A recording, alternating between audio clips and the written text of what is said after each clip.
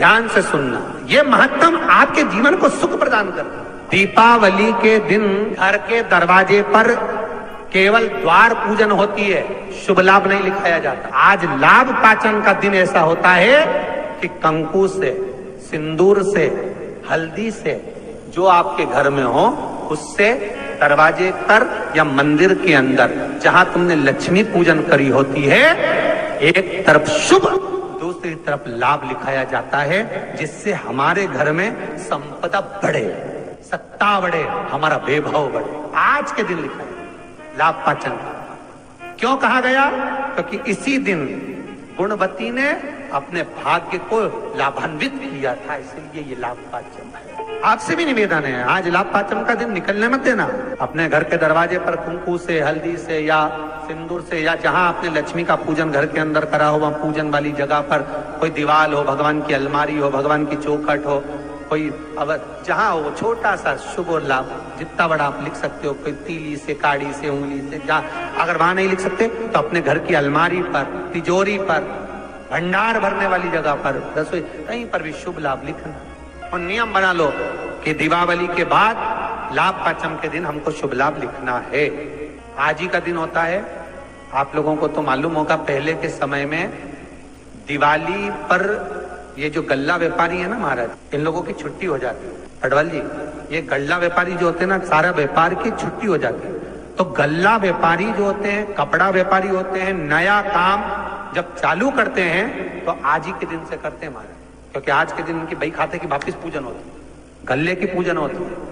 व्यापार की पूजन होती है। क्योंकि आज के दिन से जो करा हुआ जाता है, वो आगे तक बढ़ जाता है, तरक्की की ओर। वकील, ये जो जितने अपने ये जीवन बीमा निगम करने वाले होते हैं, या एलआईसी वाले होते हैं, या गाड़ी वाहन वाले होते हैं, या अन्य जितने भी होते हैं, इनको आज के दिन अपने काउंटर पर, अपनी पेन पर लीड पर, जो काम करते हैं, वहाँ पर शुभ लाभ लिखना ज़रूरी होता है। कई लोग बाहर रहते हैं, नहीं लिख पाते तो एक कोरे कागज़ पर कुंकू से शुभ लाभ लिख लो और वो घर पर जाकर बाद में चिपका दो। पर आज के दिन शुभ लाभ जो लिखा जाता है, वो जीवन पर्यान सुख समृद्धि में कमी नहीं ज़्यादा कुछ नहीं बने। तो शंकर के मंदिर में जाकर घी के दिए जला दो, पाँच दिए लगा। और ज़्यादा कमी पड़ रही हो, धन की, संपदा की, सत्ता की कोई प्रॉपर्टी कोई दुकान, कोई धंधा पानी नहीं चल रहा। बहुत कष्ट में हो, बहुत तकलीफ़ में हो। तो महाराज, एक सौ आठ चावल के दानों को केसर में भिंगो कर केसर के पानी में केसरिया कर कर पकाना नहीं है। पकाना नहीं, उसको कच्चा चावल केसर में भिंगो कर एक सौ आठ दाने शंकर को मध्य रात्रि में सूर्यास्त के बाद रात के 12 बजे से पहले कभी भी शंकर को चढ़ा दो, समर्पित कर दो। और वही अक्षत के दाने उठाकर वापिस रख लेना। ब्रह्म मुहूर्त में सुबह चार बजे, फिर बाबा पे सौंप देना अपना धन बढ़ता चले जाएगा। इतने उपाय और सारे उपाय यहीं से बताए जाएँगे, नीचे से कुछ नहीं। कितना सुंदर लिखा है, छोटे रुद्राक्ष की माला।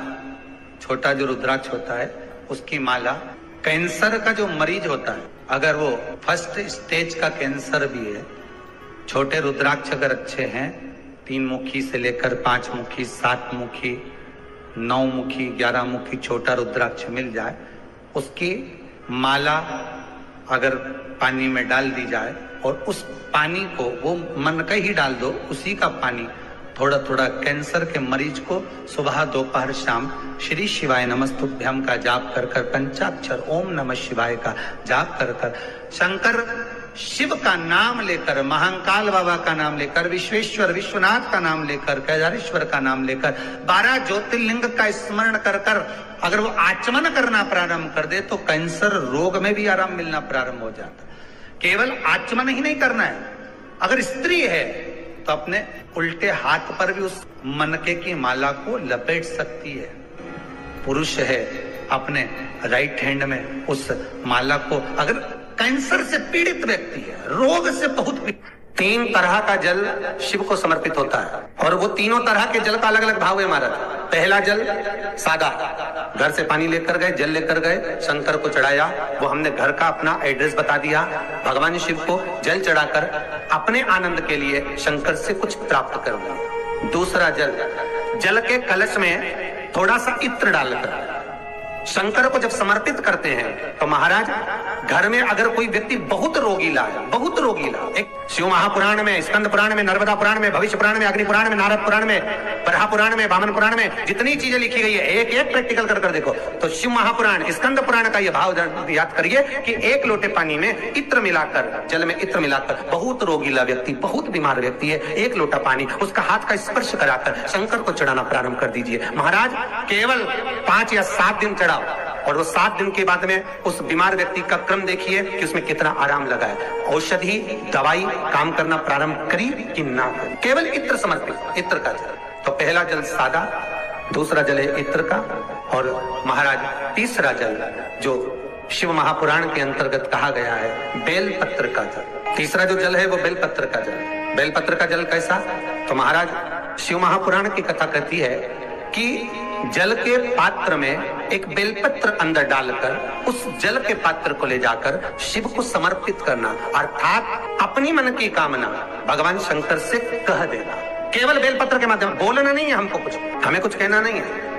तीन तरह का जल का जो व्याख्यान वर्णन किया गया, एक सादा जल जो भगवान को कहा, आपने अपना एड्रेस बता दिया, आपने अपने मन का भाव बता दिया। इत्र का जो जल चढ़ाया गया, वो केवल रोग मुक्ति के लिए चढ़ाया गया। और तीसरा, बेलपत्र, अगर उस जल में एक बेलपत्र भी पड़ी हुई है, और वो बेलपत्र पड़ा हुआ जल आप जिस भाव से चढ़ा रहे हो, जिस कामना से चढ़ा रहे हो, शंकर, वो कामना आपकी पूर्ण कर दे और लिंग पुराण को अगर आप पढ़ेंगे तो उसमें पाएँगे कि लिंग पुराण के अंदर लिखा है कि आप शंकर को अगर जल भी नहीं चढ़ाएँ, आप शंकर को वस्त्र भी नहीं चढ़ाएँ, आप शंकर को फूल भी ना चढ़ाएँ, आप बेलपत्र भी ना चढ़ाएँ, अगर शंकर को आपने कुछ भी ना चढ़ाया तो केवल शंकर के मंदिर में दो क्षण जाकर उस शिवलिंग के सम्मुख में बैठ जाओ। कुछ मत बोलो, केवल मौन होकर उसको निहार लो।